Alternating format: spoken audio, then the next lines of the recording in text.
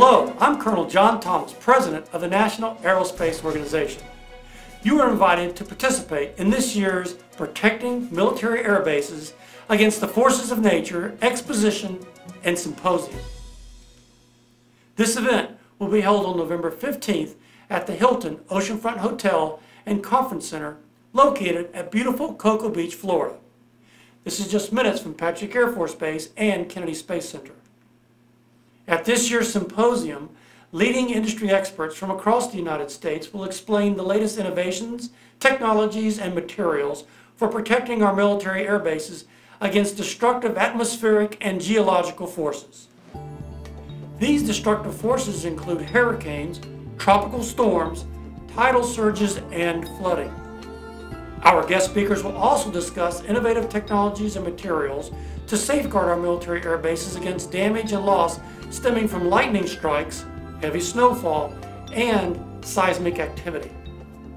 The objective of this symposium is to prevent or reduce damage to airbase facilities, aircraft, equipment, materiel, and base infrastructure. We will also examine new technologies that will help prevent loss of life and injury to base personnel.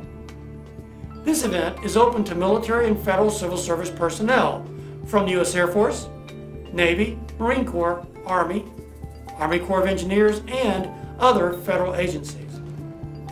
This event is open to companies wanting to partner with or become a supplier to prime defense contractors on military airbase projects.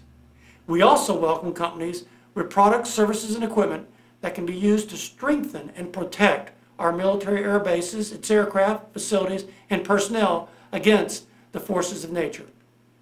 For more information about this special event and to register to attend, go to our website at www.nationalaerospace.org and click on the tab labeled Events. I know you'll be pleased with the quality of information you gain and the valuable assistance you'll receive.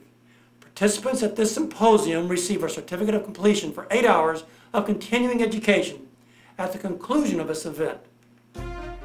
Protecting military air bases against the forces of nature exposition and symposium is the only event of its kind. I'm really excited about this year's symposium and I hope you will join us for this special event.